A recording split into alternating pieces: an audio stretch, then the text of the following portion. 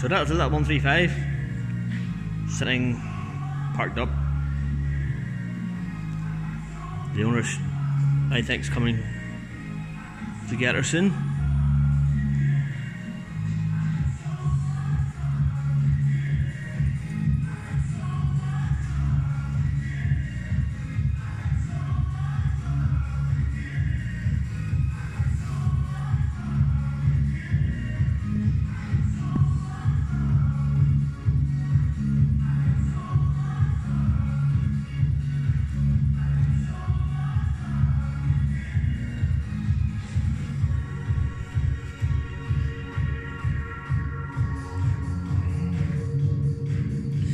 Had the Goodyear tires. That's what they would probably have come with them when they were new.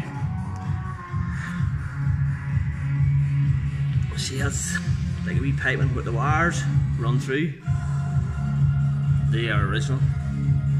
Probably the plough light wouldn't be just on the original place on the mudguard, but we've got these brackets, which is the cab brackets. Reason why they are on it is because this tractor will be getting our cab fit it onto a later stage.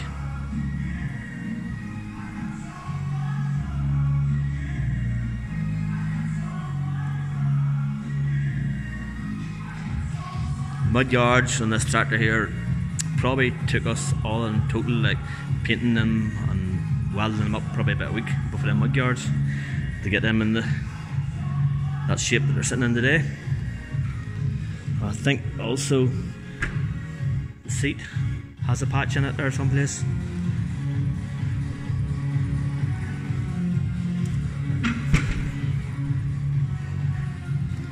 Steering wheel was I'd lost its colour so I just painted it.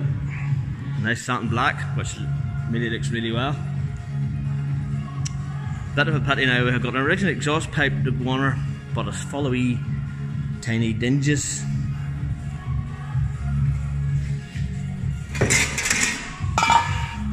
I just didn't really want it's hard to see there but like just pit it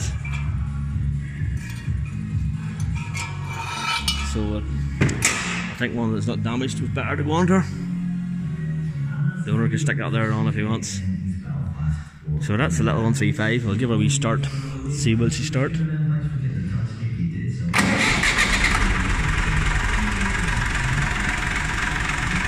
Sounds pretty well. I'm not an oil leak on her. So I would say she's a pretty mechanically good tractor.